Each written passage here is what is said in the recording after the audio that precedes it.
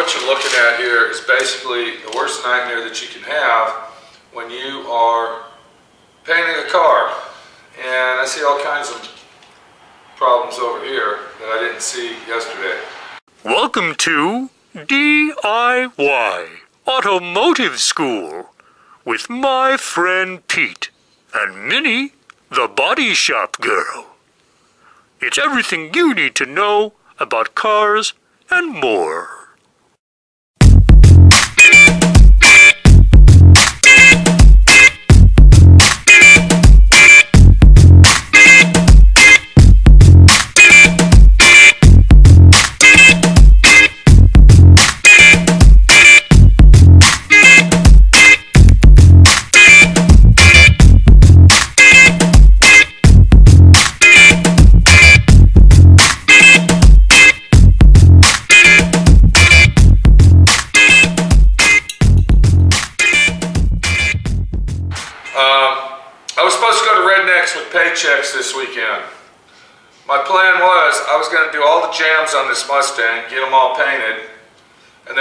Morning I was going to go ahead and head down to Rednecks with Paychecks, do a little filming down there, and uh, make some video footage so I can make some videos of Rednecks with Paychecks. But you know what? Um, I couldn't go. I couldn't go because uh, situations that have arose over here at the self-employment center of Southwest Rod and Custom. Because when you're on a schedule and you got to get stuff done, okay, because it all falls in place to be, uh, we got to paint this, then once we get that done, we're going to go ahead and block sand it out, paint the car, we'll get all the little pieces painted. So what happens is it's a very depressing, and uh, upsetting situation when this happens. And what I'm talking about is when the paint wrinkles, blisters, and peels after you've worked two weeks prepping everything up to paint. And we went ahead and dusted a coat of epoxy primer on this because that's like mandatory, you have to do that. But obviously I didn't put enough epoxy primer on it and it didn't seal it properly. And now what we got, now what we got is that problem right there. And what that is, that's where the paint had lifted. It actually lifted off all of the work that we did. Here's another area right here. Uh, watch what I do here when I take my, do you see that? So whatever paint they used when they painted this the last time, okay, look, it just peels right off. All right. Whatever paint they used to uh, paint this last time was a very cheap, inexpensive acrylic enamel. Look at this right here. And you think I'm going to go ahead and give the customer his car like that? Yeah, okay, sure thing. I could put 10 coats of clear on that and it wouldn't do nothing because what you're looking at here, the paint did not stick, okay, it didn't stick to the surface. So if the paint doesn't stick, the clear will definitely not stick. So I have got to go around every single door jamb on this vehicle and I have got to sand it down and re-prep the car up. You can see where it peeled down in here. Look at this. Peeled down in there. And look at the peeling we got right here. Okay. Is that from piss poor uh, prep job? Is that what that is? That the, it wasn't prepped properly and sanded properly? No, it's not. What it's from is the previous paint that was applied to this car. Now, whether it was original or whether it was aftermarket paint, whatever the paint was that was on this vehicle, all right, it raised up through everything. And when I say everything, I'm talking about the sealers and the primers and everything else. And then the chemical reaction started with our um, urethane reducer. The urethane reducer in the paint that you mix your paint with is what causes this reaction right here. And it usually doesn't start showing up till after you actually lay a coat of clear on it. I'm going to show you how to uh, professionally fix this problem. And I mean, I'm just telling you, I hope and pray to God that this doesn't happen to you because this is like one of the worst things that can happen to you when painting a car. So I was actually working on the door when y'all uh, came in on this little venture. But what we're going to do is I'm going to show you, I'm going to start from scratch right here, and I'm going to show you how to fix your problem when the problem arises such as this. Now I will let you know that this actually has one flash coat of clear on it, and then I stopped right there. I didn't do any more, I stopped because I saw that started to blister. And when you're in here painting, you're not really paying attention to that. But by the time I got the clear on it, I saw it blistering. And then what I did is I stopped spraying my clear and I started looking at all of the rest of the jambs. Now here's a section I came across right here. It was blistering. All right. And then if we walk over here, well, we had a serious problem on this one. You can see right here that it was blistering very, very seriously and very bad all the way down. So what we're going to do to get this little venture started is you're going to want to get a piece of 80 grit. That's right, you heard me straight, 80 grit sandpaper. We got to start with some coarse sandpaper and work our way down to feathering it all out. And the only way to really dig into the problem is taking our 80 grit sandpaper and then sanding that. Let me see if I can get a better angle here. Okay.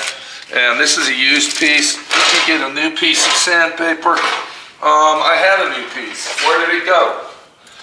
I don't have my new piece of 80 grit sandpaper. It has disappeared.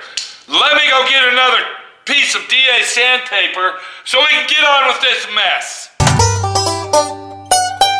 So let me ask you a question. How does a piece of 80 grit sandpaper grow legs and walk away and disappear? I don't know. I really don't know. But I know one thing, when you're frustrated, mad, and pissed off, it seems like everything you do and everything you touch actually grows legs and walks away from you. And look what I just found. I just found my piece of sandpaper that was sitting right up here. And I didn't see it because it's white. And it, it camouflaged itself because it said, hey, my friend Pete, you're mad. You're pissed off. I don't want you touching me. I'm scared of you. So we'll go ahead and fold that. So now what we got here, now what we got, we got three pieces of 80 grit sandpaper.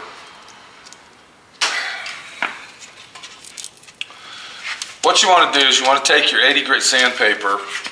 Now, I will let you know that this is actually uh, the next day. I had to wait overnight for all this to dry.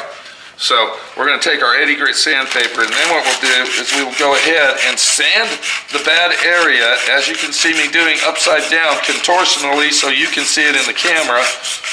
All right, you can see what I'm doing there and uh, I'm actually getting rid of all the wrinklage. We can call that wrinklage because when it's wrinkled that means it's not sticking to the paint or should I say jamb. The paint's not sticking to the item that you're painting. So you're going to take your thumb or whatever you got. We will not be using a block on this, by the way. There's no way to get a block in there. And look at the sandpaper. Um, you can see how it's gumming up and building up. So it really takes a lot of sandpaper to get this done. But um, as I'm sanding it, you can see that it is being removed and also um, gumming up. Very, very big mess here. Very big mess. It will literally ruin your day when this happens. It will literally take you to the other side of the mountain and say, ha ha ha, I got you this time, bitch. That's what it'll do. I found another little spot right here. Um, and you can see as I pull on it with my fingernail, you can see that um, it will just peel right off. So once again, we're going to take our sandpaper and we're going to sand it down. Now, once you hit it with 80 grit, you can basically see um, where it will stop peeling off. So you want to go um, about a half an inch to an inch, depending on how big it is, but you want to go past where it is blistering. That's what I call it. I call it blistering. Paint peeling, blistering. And then you want to just keep sanding it with your 80 grit.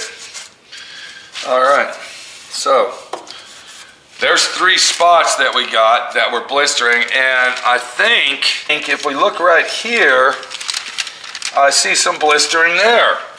Now, you want to look at an area like that and you're going to tell yourself, um, we got the threshold molding that goes here. Does it go all the way up there? And then you start telling yourself, I don't know if it does or not. Should I take that chance?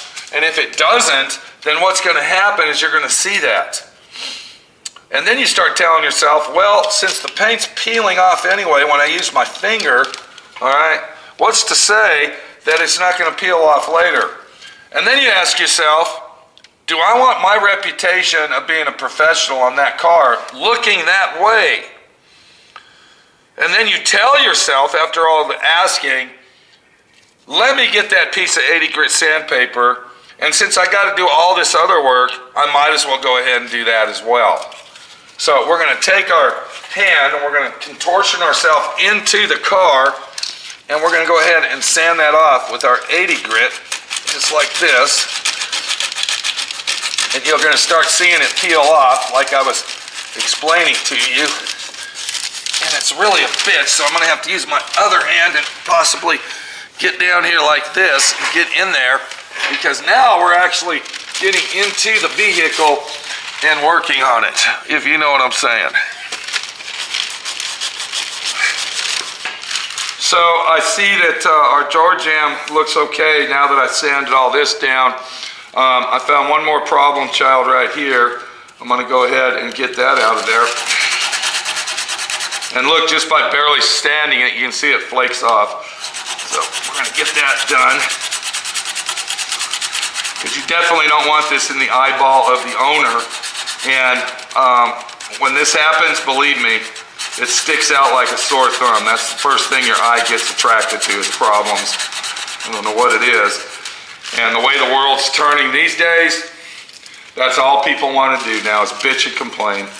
That's like the biggest thing in the world that something goes wrong, that they have something to bitch and complain about because that's how the world's getting, to be. That everybody has to moan and groan. They don't compliment. They don't. They don't um, gesture that you did a beautiful job. All they want to do is find problems to bitch about it. So, you know, this is the deal right here. So the next thing we're going to do, now that we're done doing all that, is we are going to go ahead and wet sand that. Now, we got a procedure of wet sanding it because we just can't wet sand it with 400. We got to wet sand it with something that's got more grit in it that's going to help feather that paint out, and then we move into the 400. So what I got here is I got a fresh bucket of water, I got a sponge, and when we sand this, we want to sand it in a way where we're not going to use a lot of water. Do you understand what I'm saying? We're going to wet our item down. Um, we're going to take our paper. We're going to dip it in our water, just like that. And the paper that we're going to use is 320. Now, 320 wet is pretty gritty. It's almost equivalent to 180. And that's what we want. But we don't want to use 180 dry because that will just gum the paper up more. What we're now trying to achieve is that we're going to feather all these mistakes out. So if you look at the big picture right there, you can see the roadmap that we got to travel down. And we're going to start uh, up here on this area. So I'm just going to take my sponge and then I'm just going to wet it down. I don't want to wet everything. I'm trying to avoid retaping and all this other stuff. And then we're going to repeat our process and we're going to wet sand that and feather out the edges. See? And when you do this, when you're sanding this down, this part here, um, remember we went past the, uh, the wrinkled part with our 80 grit. Well, now you got to go past the 80 grit sanding. So we're going to bring it up here, see? And it doesn't take much. Um, I mean, that's about it right there, really. All right, so we're going to catch that water before it drips everywhere. We're going to wipe that down. And then basically that's what you got right there. Basically. So then we're going to move down here to this area. We're going to keep following our road map down to the uh, bottom of the hill. And then we're going to do the same thing. We're going to work on feathering all the edges out. And that's what we're concentrating on here is the edges. Because that's really what we need to do.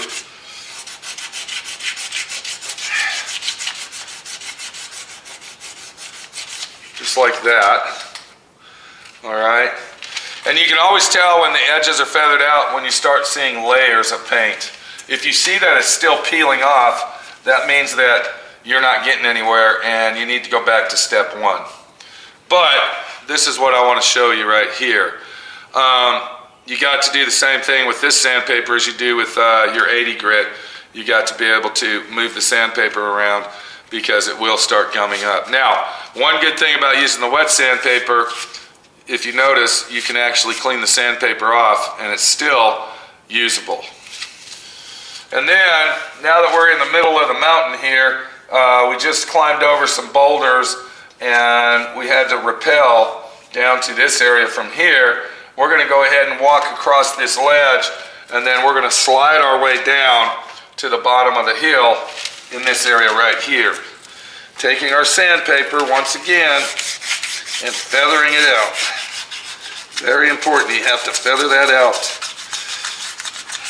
Always remember that word when doing body work, painting body, feather, feather, feather. It's important that you feather everything out and get it down to where it should be.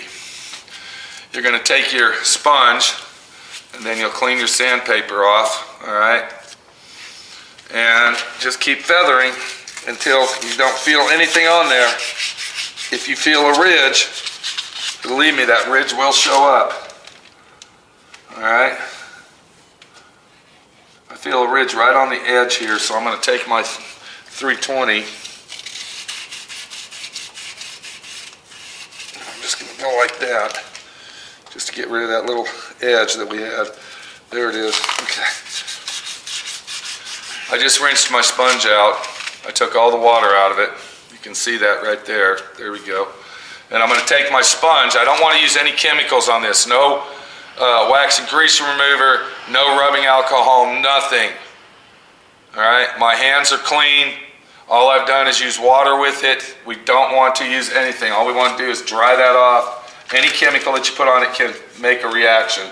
So we're going to dry that off and let it dry.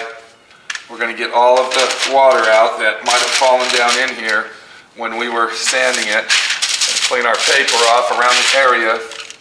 And then by the time we go all the way around the car, we'll come back and wipe everything down with a wipe all and then it's ready to apply our sealer. But you can see how I feathered all that out and then you're going to take your finger and it feels really, really nice. Feels like we got just a little bit right there. So I'm gonna go ahead and take my sandpaper. This is a very hard area to sand right here. This is a thumb thumb action. And I'm just gonna sand that down and just feather it out just a little more using my 320.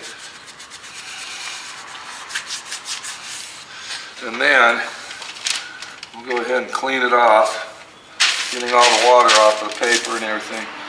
And then I think let me go ahead and get this area right here. Just like that. So, let me go around the whole car. I got a lot of sanding to do. This is going to take several hours. Um, it's a time consuming job. It's a depressing job. It's a job that nobody wants to do. Especially when you're self-employed. It just makes things worse for you. And then once it's all prepped, I will be back to show you how to fix the problem. Um, this has really, really made me start thinking twice about keeping my business open. Um, I am now 57 years old, 56, I don't even know. And for more than three quarters of my life, all I've basically ever done is work seven days a week, 18 hours a day, no free time, no nothing, just work, go home, sleep, work, go home, sleep.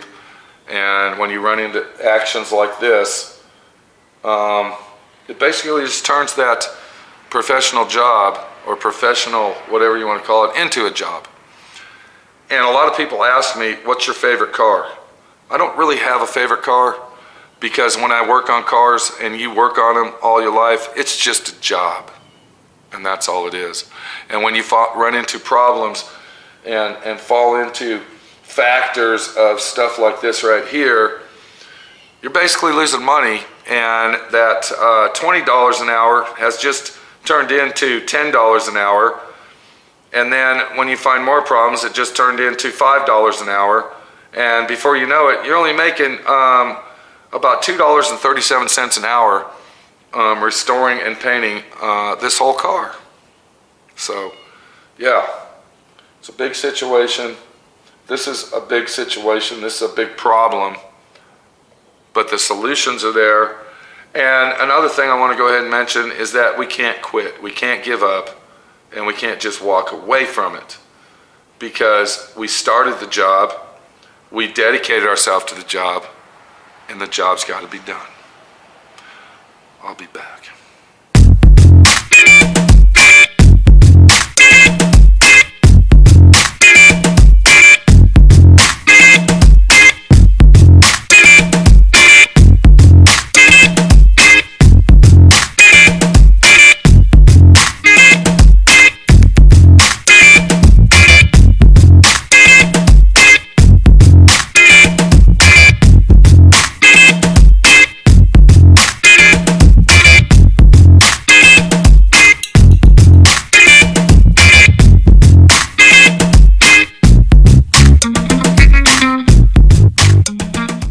For watching DIY Automotive School.